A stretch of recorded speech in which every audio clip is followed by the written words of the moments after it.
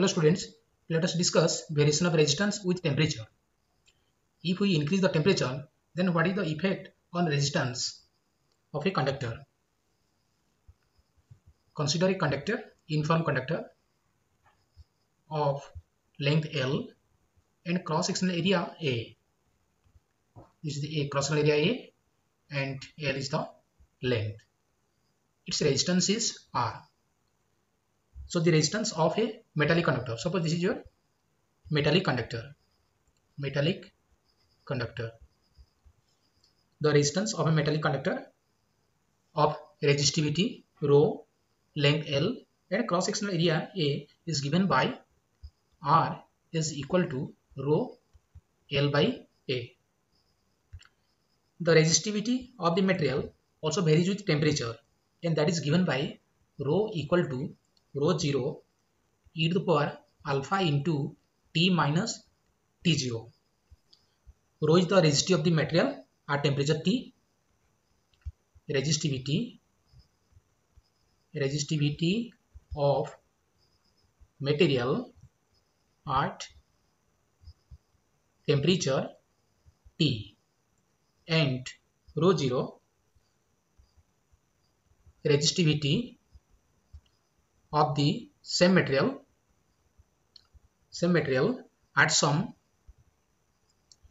reference temperature T0 reference temperature T0 and alpha is the temperature coefficient of resistivity.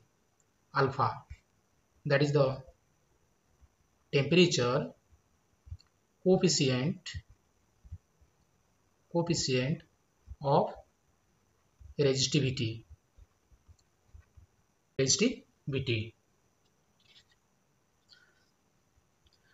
Now let us multiply both sides by L by A.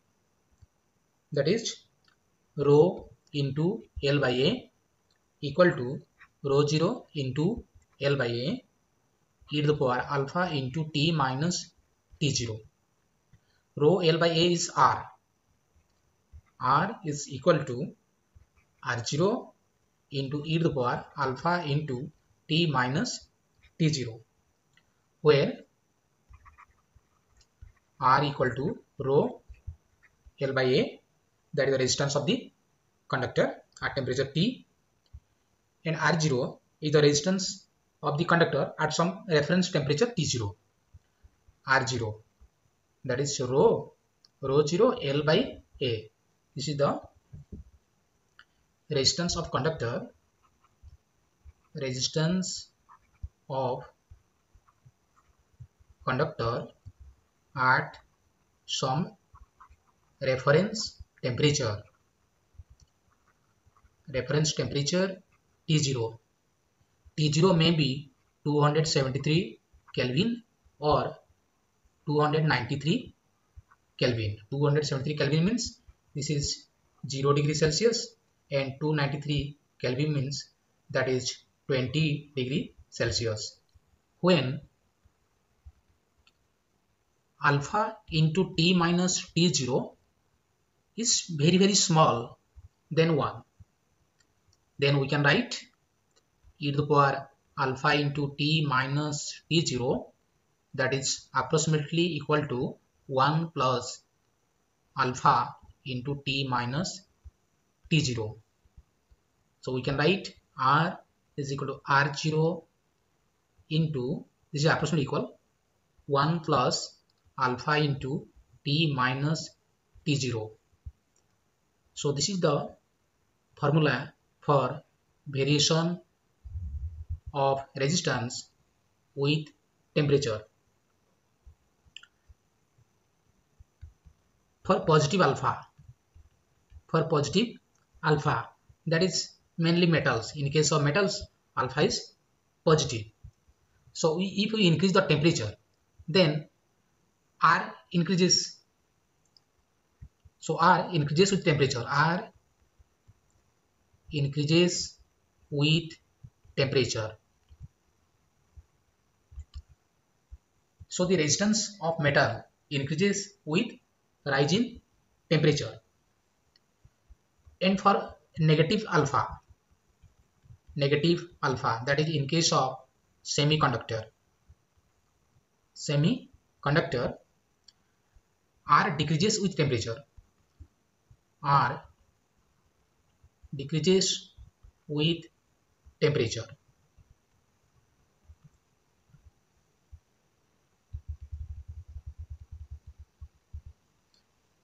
Now the above equation can be written as R is approximately equal to R0 plus R0 alpha into T minus T0 or R minus R0 that is absolutely equal to R0 alpha into we can write T minus T0 as change in temperature delta T. This implies delta R that is approximately equal to r0 into alpha delta t or alpha that is approximately equal to delta r by r0 into delta t. So alpha is called the temperature coefficient of resistance. Now alpha is called temperature coefficient of of resistance. We note that here delta R from this from this relation delta R is proportional to delta T that is change in resistance of the material is proportional to the corresponding change in temperature.